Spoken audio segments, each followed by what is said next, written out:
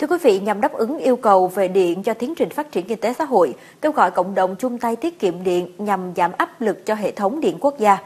Mới đây, Sở Công Thương đã phối hợp với Công ty Điện lực Bà Rịa Vũng Tàu ký kết quy chế phối hợp thực hiện sử dụng điện tiết kiệm và hiệu quả trên địa bàn tỉnh Bà Rịa Vũng Tàu.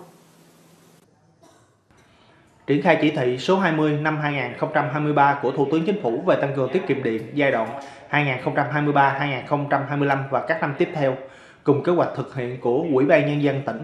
Sở Công Thương và Công ty Điện lực Bà Rịa Vũng Tàu sẽ tăng cường tuyên truyền tiết kiệm điện tại các hộ gia đình, các cơ quan công sở, trụ sở làm việc, chiếu sáng công cộng, các cơ sở sản xuất kinh doanh.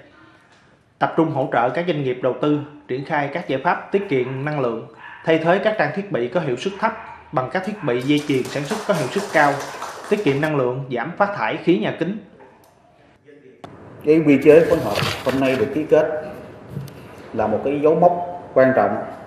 để nhấn mạnh rằng cái trách nhiệm của Sở Công Thương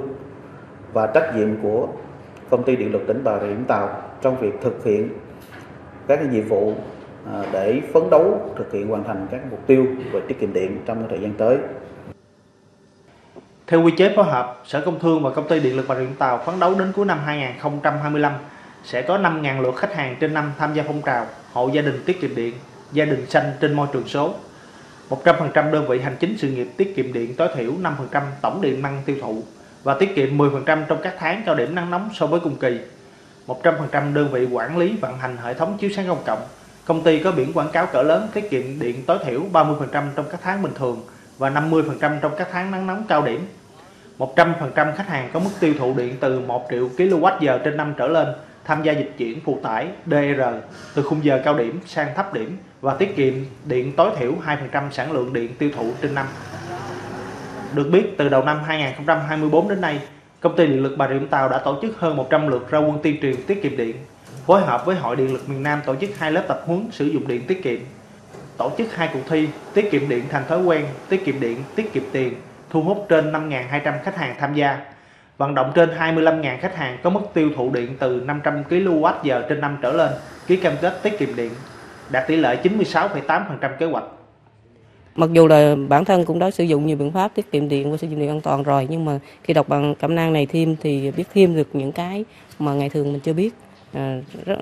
rất thiết thực cho người dân mong là mọi người đều sử dụng à, sử dụng hợp lý an toàn tiết kiệm công ty điện lực bà rịa vũng tàu à, cũng đã phối hợp với các tổ chức các ban ngành báo đài đoàn thể trên địa bàn tỉnh để thực hiện cái tổ chức các tuyên truyền cũng như học tập về cái phương pháp uh, tiết kiệm an toàn hiệu quả về điện. À, qua cái công tác uh, tuyên truyền trên thì uh, hiện nay thì các doanh nghiệp các tổ chức cũng như là các hội sử dụng điện à, cũng đã nhận thức đầy đủ và rõ ràng về cái ý nghĩa mục đích của việc tiết kiệm điện trong cái việc sử dụng điện an toàn và hiệu quả. 7 tháng năm 2024, toàn tỉnh Bà Rịa Vũng Tàu đã tiết kiệm hơn 107 triệu kWh, cao hơn cùng kỳ năm ngoái khoảng 10 triệu kWh, trong đó nguồn điện tiết kiệm trong khu vực điện sinh hoạt chiếm 40%.